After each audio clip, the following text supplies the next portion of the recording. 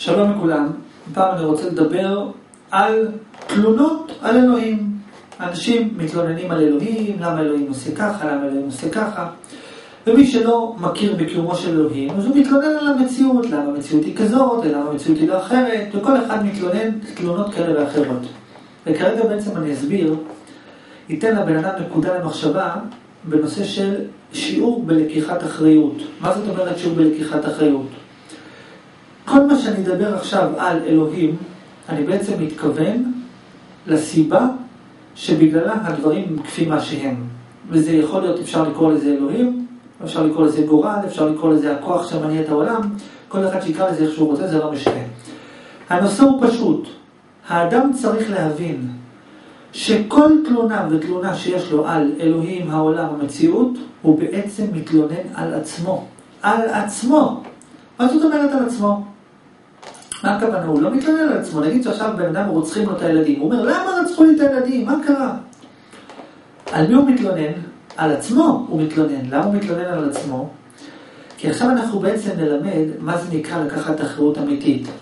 מי שיתבונן פנימה אל תוכו, יגלה שהאני האמיתי שלו זה בעצם המציאות, זה בעצם אלוהים. משל למה הדבר דומה? לבן אדם שנמצא בתוך חלום, ובתוך החלום הוא חולם שרוצחים לו את הילדים. בחורה חולמת שאונסים אותה, בן אדם הוא חולם שמתעללים בו, כן? חולם, חלום.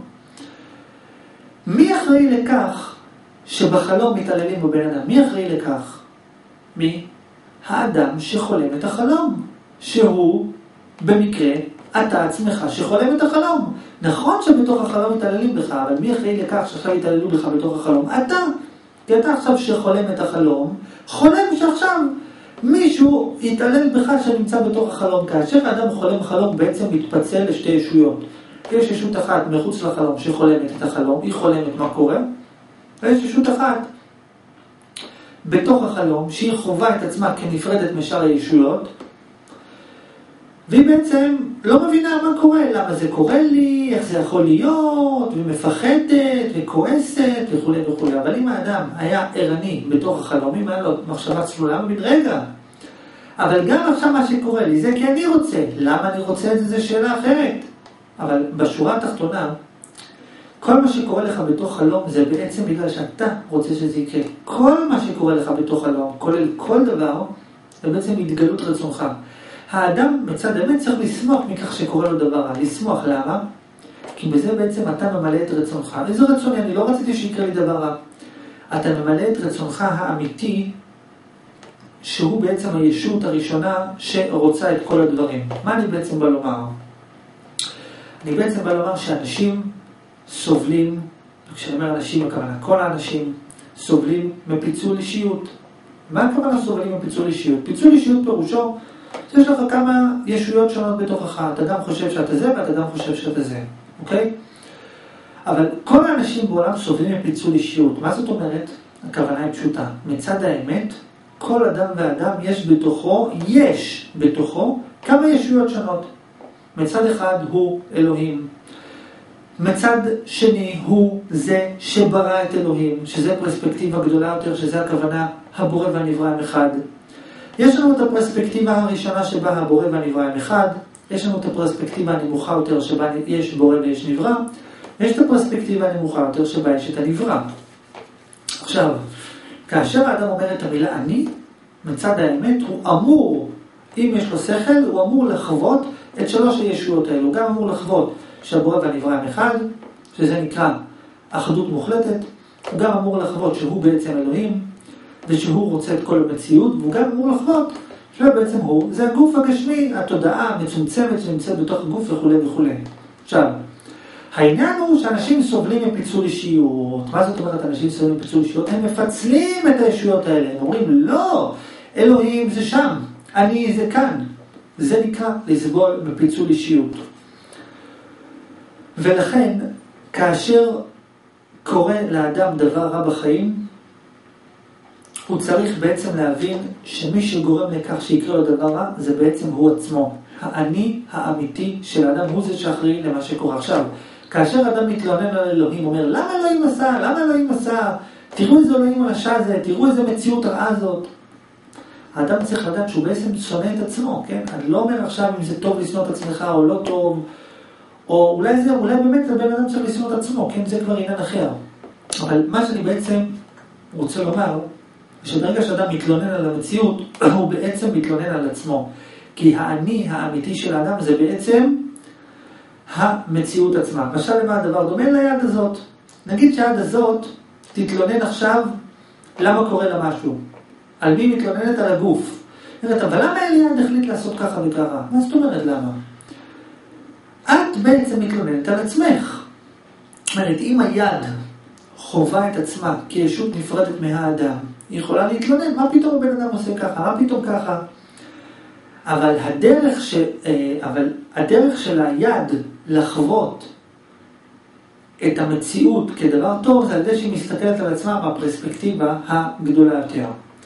ועכשיו בעצם מה שאני בא לומר, אני תמיד הבטחתי והתחייבתי שמי שיחקור את שורש הרצון העצמי שלו, ירגיש טוב בשלמות. מה זאת אומרת? מה הכוונה? מי שיגלה למה הוא רוצה את הרצונות שלו, ירגיש טוב בשלמות. למה? איך זה עובד? הנושא פשוט. ברגע שהאדם חוקר את שורש הרצון שלו, במוקדם או במאוחר, שזה אומר בעצם במאוחר, כי במוקדם הוא לא יבין את זה, במאוחר הוא יבין את זה, בסופו של תהליך הוא יבין את זה, שבעצם יש ישות אחרת שהיא זו שגורמת לו לרצות את המציאות שלו. איך קוראים לאותה ישות שהיא זו שגורמת לאדם לרצות את הרצונות שלו? קוראים לה המציאות. המציאות היא הכוח שמניע את כל הדברים, ובכללם גם את הרצונות של האדם. ואז מה שקורה אצל בן אדם כזה, זה שלב ראשון, הוא מבין שאין לו בחירה חופשית כישות נפרדת. בשלב השני, ברגע שאדם מתבונן, בעצם התודעה שלו ממשיכה לגדול, ואז הוא בעצם קולט שלא רק שהרצונות שלו לא בשליטתו, אלא שגם התודעה העצמית שלו היא לא בשליטתו.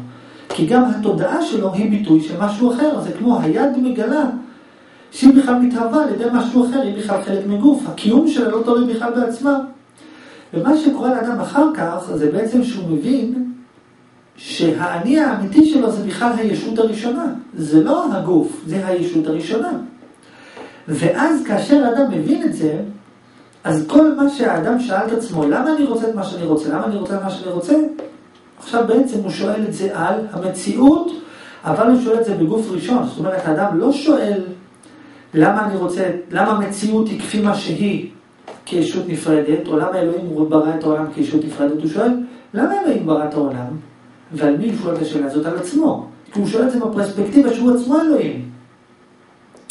וכאשר האדם שואל את זה, בסופו של דבר הוא מגלה את מי שברא את אלוהים. מה זאת אומרת מי שברא את אלוהים? הוא מגלה את הפרספקטיבה שבה הכל אחד. וכאשר הכל אחד, אז אין שאלה למה ברא, מי ברא וכולי וכולי. וזה כבר עניין אחר, מהי אותה פרספקטיבה. בכל מקרה, בשורה התחתונה, המסר הוא פשוט, דע לך, שכל תלונה ותלונה שיש לך על המציאות, אתה בעצם מתלונן על עצמך. כל תלונה שיש לך על אלוהים, אתה מתלונן על עצמך.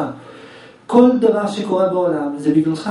קח אחריות, תדע לך שהכל זה בגללך, ותפסיק לסבול מפיצול אישיות. אל תתכחש לכך שאתה כמה ישויות בו זמנית. זאת האמת. יש גם אחדות וגם נפרדות בו זמנית. יש גם כלום וגם מקום וזמן שמתהווים מהכלום. זאת האמת. אין מה לעשות, ככה זה עובד.